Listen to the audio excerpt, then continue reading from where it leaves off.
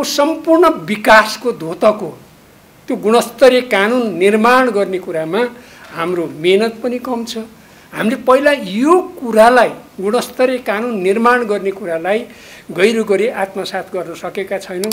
प्रयत्न गरेको हो। अघि नै पनि मेरो हकमा पनि त्यो लागु हुन्छ कि रचनात्मक र सृजनात्मक काम गर्ने मेरो आफ्नै क्षमताको पनि परख गर्ने वातावरण बनेन।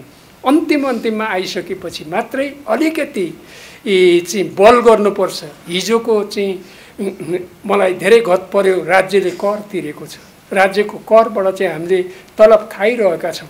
हिजो काम गर्ने वातावरण बनेन अहिले त बनेको छ यस त्यसको नि क्षतिपूर्ति गर्नुपर्छ भनेर हामीले चाहिँ एघार बजे सञ्चालन गरेको बैठकलाई कुनै दिन दस बजीसम्म बेलुकाको दस बजीसम्म पनि सञ्चालन गऱ्यौँ। र अहिले बजेट अधिवेशनमा नि तिस बत्तिसवटा कानुनहरू चाहिँ पारित भएका छन् त्यसकारण यो कानुन निर्माणमा पनि चाहिँ हाम्रो कमी छ.